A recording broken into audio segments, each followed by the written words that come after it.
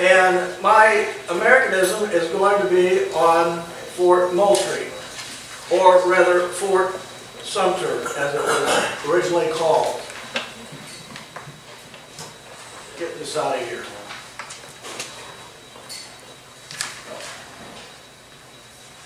Tom really had me messed up. Okay, when the American Revolutionary War broke out in 1775, the city of Charleston and the county of South Carolina was a center of commerce in the southern part of North America. The citizens joined together with other colonists in opposing the British Parliament attempts to tax them. Militia recruitment increased, then word arrived in April of 1775 the battles of Lexington and Concord had happened. Throughout 1775 into 1776, militia recruits arrived in the city from colonies all around. The city's manufacturing tradesmen began to produce war materials, and defense fortifications began to take shape around the city. Fort Sullivan is a part of the a series of fortifications on Sullivan's Island, South Carolina, built to protect the city of Charleston. The first fort was called Fort Sullivan, was built out of palmetto logs, which inspired the current flag of the state of South Carolina, and South Carolina became, had a nickname of the Palmetto State. The fort was renamed for the U.S. Patriot commander in the Battle of the Sullivan's Island, General William Moultrie. I'm dressed in the uniform of my ancestor, John Austin. He was, may have been part of this battle. Now, his uniform did not have epaulets that I have. These epaulets are part of the SAR uh, uniforms that we uh, wear when we go to parades and stuff like that. And as most of you know, I was the uh, state commander last year.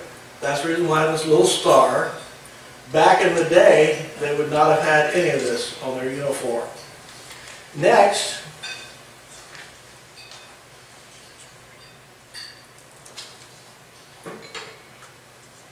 there was a flag. And the flag had liberty written on it.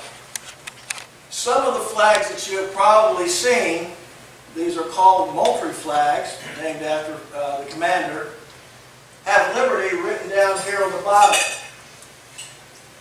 There's a big dispute as to whether it was written on the crescent or on the flag itself. I think this was not true. It was on the crescent. The reason why I say this is because artifacts found around the battlefield has liberty written in the crescent. And liberty would not have been written in the crescent if it had been written in the flag. So I'm a big believer that that's the original Fort Moultrie flag. During the Battle of Sullivan's Island, uh, the flag was shot down. And uh, William Jasper was a sergeant.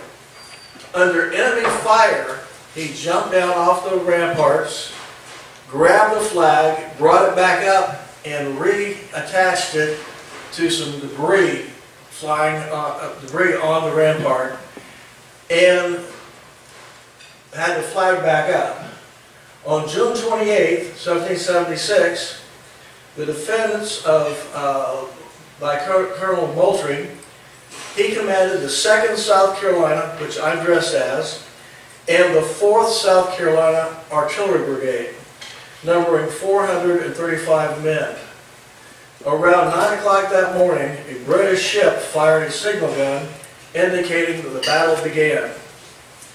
Less than an hour later, nine warships had sailed in and started pounding the fort with uh, cannonballs.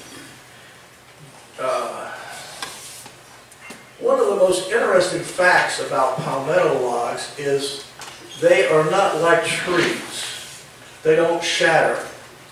The palmetto logs from the fort did not crack and splinter. Rather, they absorbed the shock. And it's been reported that some of the shot even bounced off and hit enemy warships, which I kind of believe because uh, I've se- actually seen demonstrations of how uh, rocks thrown at the Palmetto when I was a kid bounce back a lot further than you throw them. The British eventually captured Fort Sullivan as part of the siege of Charleston in the spring of 1780 and renamed the fort Fort Arbuthnot. Nevertheless, the colonists won the war and British troops departed in 1782, at which time the flag uh, was presented to Charleston by General Nathan Greene, commander of the Southern Regulars. I have Fort Fort Moultrie coins that I want to pass out to everyone in attendance here today.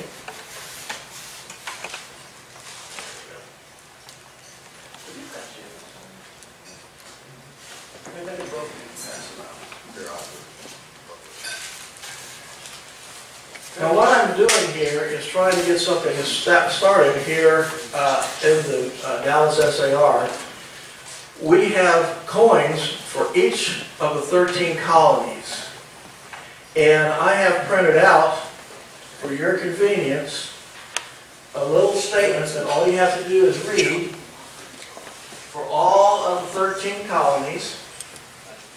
And I have a sign-up sheet right there in the middle table. Uh, Tom Whitelock already has Delaware.